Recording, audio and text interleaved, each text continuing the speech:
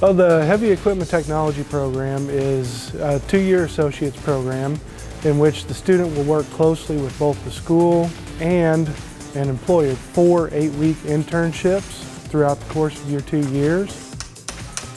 Well, with this, you learn in the classroom and they bring you out here and you can actually see, you know, what's in the diagram right in front of you, get to tear it apart, see how it works. We work in the classroom, take that knowledge that we work on in the classroom, take it out into the lab, then we come out here into the shop and work on actually the live equipment. Yeah, so we spend uh, close to half our time in the shop so that gives us good hands-on experience so we can go right out into the field and we're kind of uh, used to working with our hands. We know what's going on. We try to create in the heavy equipment program as close as we can to an actual shop experience.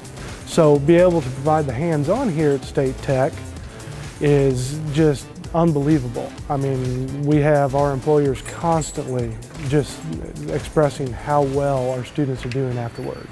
If you need help, the people here, the teachers, the students, everyone helps you in any way they can. If you're stuck on something, Bill, Tom, whoever your instructor is, they'll go back and make sure that you understand the information. We'll bring them out to the shop, and then in the shop, we're actually out on specialized equipment. I have no doubt that they will be able to thrive in a heavy equipment technician position after graduation from college.